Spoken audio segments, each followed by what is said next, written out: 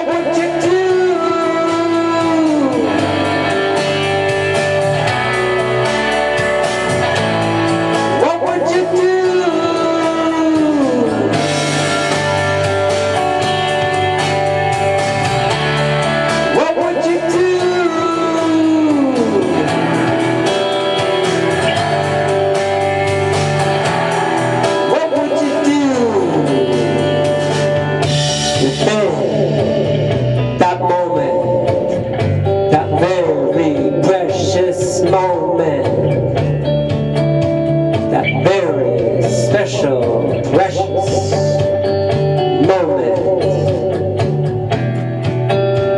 I leave it up to you.